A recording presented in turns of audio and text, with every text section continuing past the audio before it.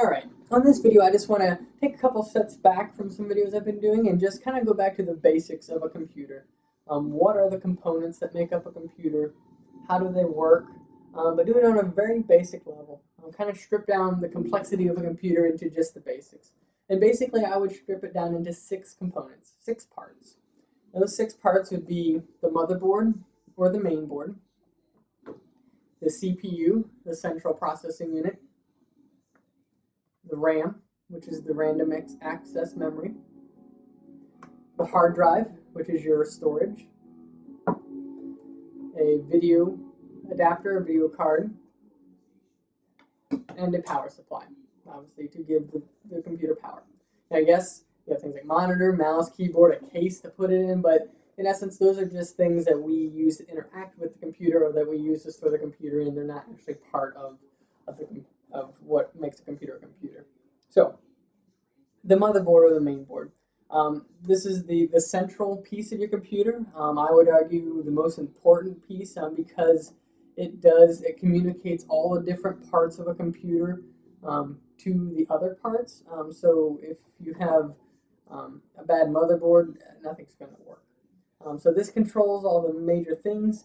It is also the thing that you would plug your mouse, keyboard, USB, printer, all that plugs into the motherboard of the main board. The first component that would plug into the motherboard is your processor or your CPU. This is really the brains of your computer. This chip is what does all the processing.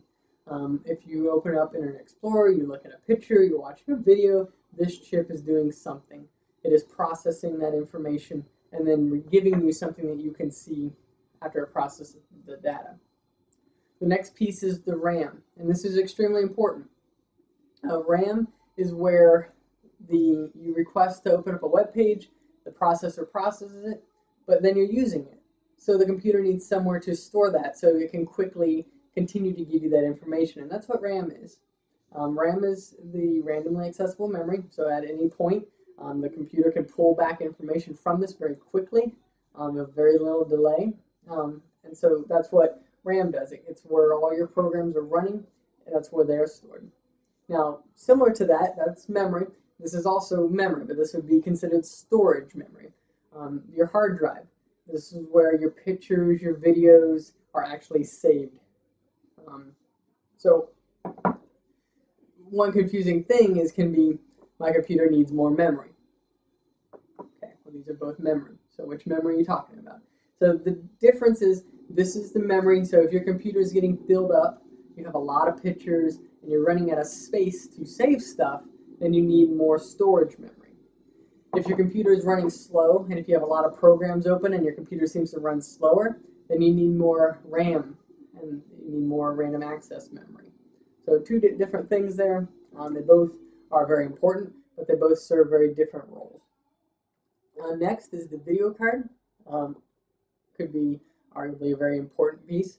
Um, not necessarily required for the computer to compute, but required for you to be able to see anything on a monitor.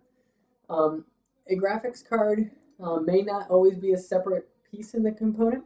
A lot of motherboards will actually have that part built into it as a separate piece on the board. And then what it will do if that's the case is the RAM and the processor will act, um, will, will process for that video card. Um, but um, a lot of gaming machines or video editing machines need to have a separate video card so that all the processing that's going on the monitor, all that graphics and stuff is handled right here. So a graphics card has its own processing processor called a GPU, which is a graphics processor unit, and it also has its own RAM. So in essence, it's its own little unit. Um, but this does, if you had a separate card, does plug right into the motherboard like so. So it is all connected into the same system. And then finally the power supply, um, which is uh, pretty basic in essence. I mean, this is the part that you would plug into the wall. This part you would see on the back of your computer that you plug in. And then on the other side of that is all the wires that go to different components, the motherboard, the hard drive, basically giving power um, to everything that you have. So that's the basics of a computer. Um, six components. Yes, there's more. You could argue there's, you could have less technically. You could just have the motherboard, processor, RAM, power. So maybe four you could technically run a compute with. Um, more because you know you have add-on cards and other things that you would add. Um, but I'm going to say there's six basic components that make a computer functional. So that's my video on the basics of how a computer works. So thank you for watching.